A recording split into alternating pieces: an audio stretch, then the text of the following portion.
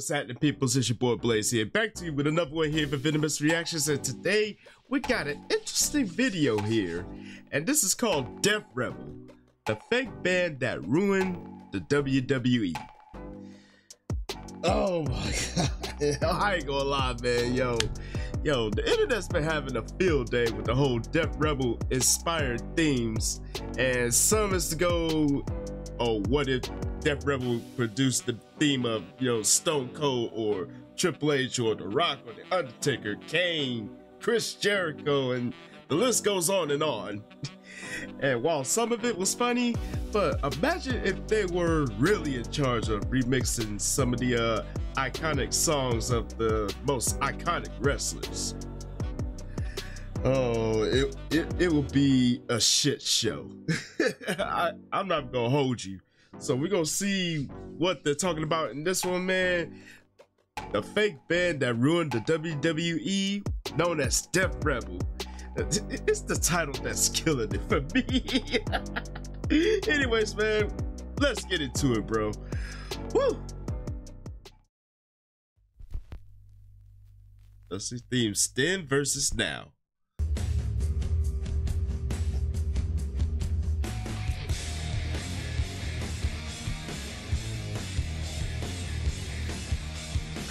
Love that theme.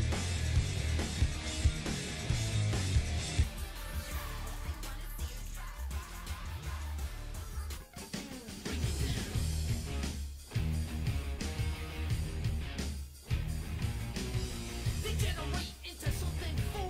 We just got tired.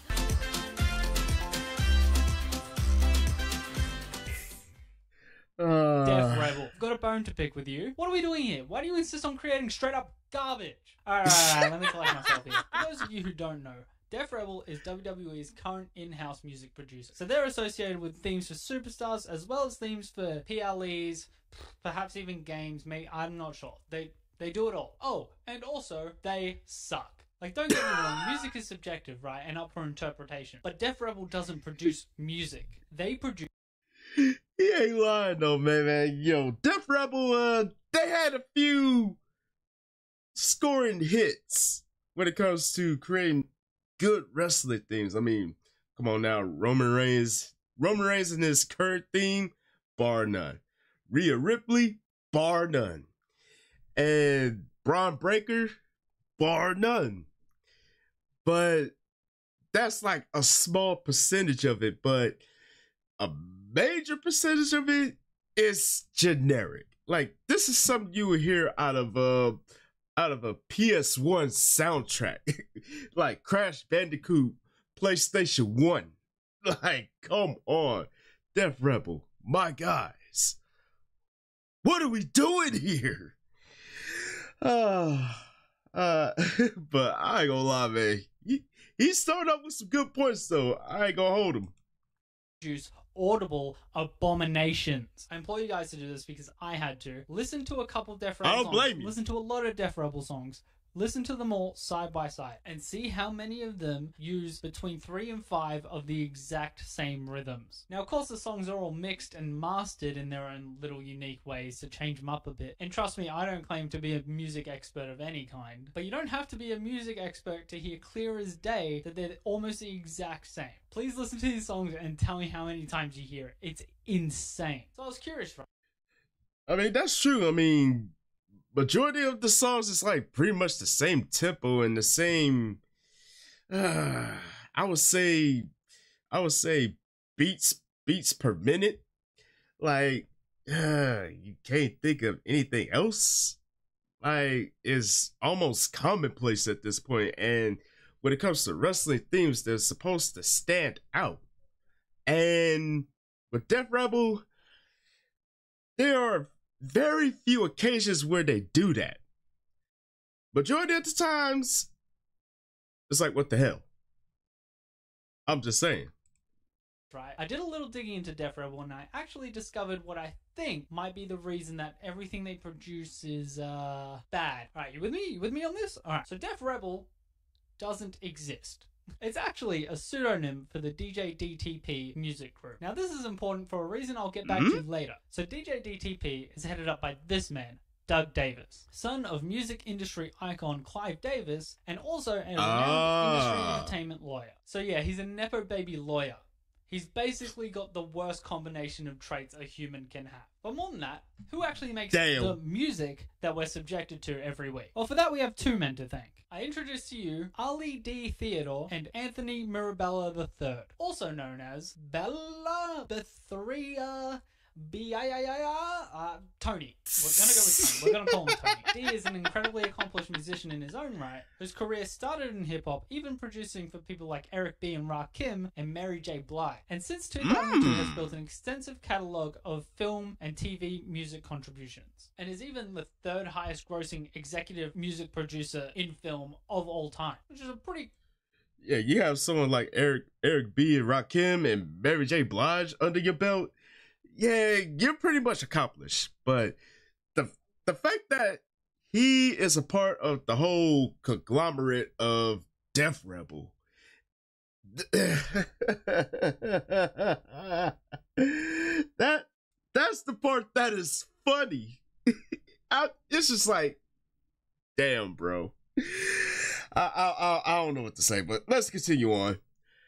Pretty crazy feat. I gotta give him that. For Tony here, it's a similar story. That there was a lot less to dig up on him for his past, but his most recent noteworthy contributions include music for both the Super Mario Brothers film and Into the Spider Verse. Now, look, the Mario Hmm. movie is cool and all, but if any of you have seen the Spider Verse movies, you'd know they get music right over there. So clearly, these two know a thing or two about making a half decent song, even if it's not the most artsy. So, why is 80% being generous of what they produced for WWE the worst music on the planet. Well, I'll tell you what. Remember how I told you Def Rebel is actually just a pseudonym? Well, I did a little further digging into the deal between DJ DTP and WWE, and what I was able to find was that Def Rebel is a trademark owned not by them, but by WWE, and everything released under that name belongs entirely to them. Now, this alone would dilute the quality of production, as the company producing the music It would. has absolutely zero rights to it, and they've already been paid regardless of quality. But there's also a good old bit of corporate bureaucracy at play. I know.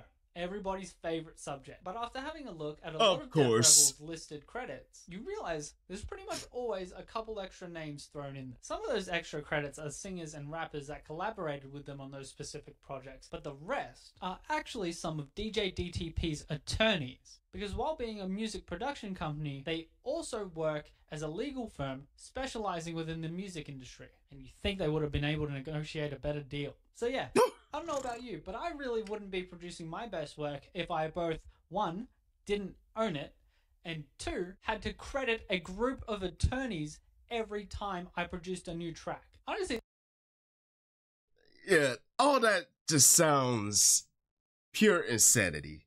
I mean, I get the fact that WWE wanted to go a new direction as far as wrestling themed production is concerned, but I I don't know. Like they could have just stuck with CFOs, in my opinion, or hell, bring back Jim Johnston.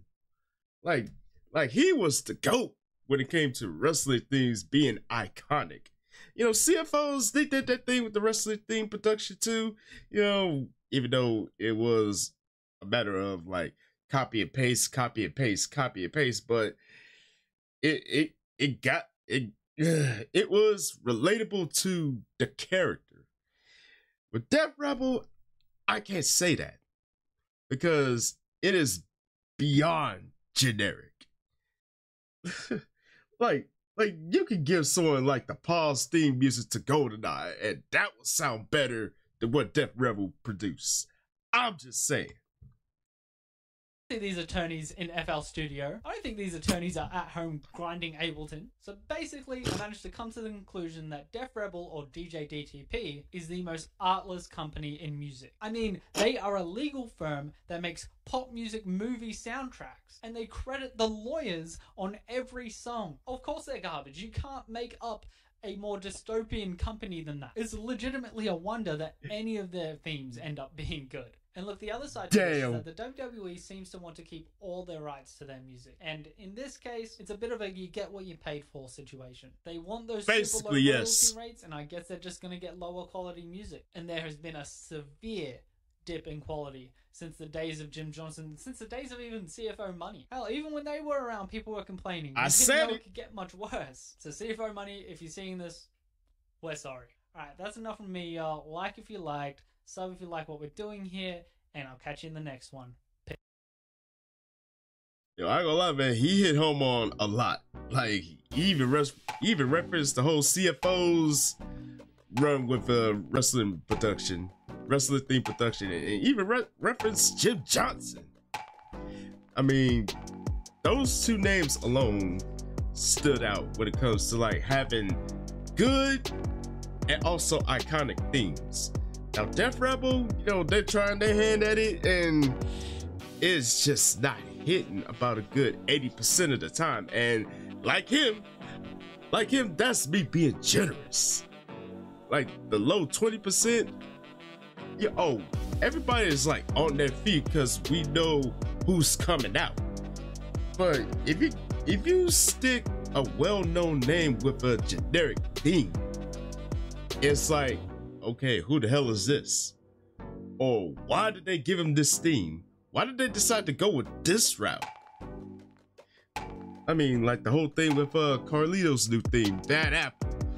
Uh, I get the fact that I get the fact that Carlito wanted to change up a little bit, but uh, it the Bad Apple thing it took time to grow on me. I'm just keeping it real. It took time to grow on me, and it's it's serviceable, but uh, it's not like uh you know here's a Caribbean cool thing. I mean, I'm just saying from my viewpoint, but let me know what y'all thoughts are about this video here, yo. The old boy hit home on this or what? Let the comment section have it, and as always, thank y'all for tuning in. Hopefully y'all enjoyed this one, and don't forget to tell your peoples across the globe. Come kick it with your boys. It's one good solid time.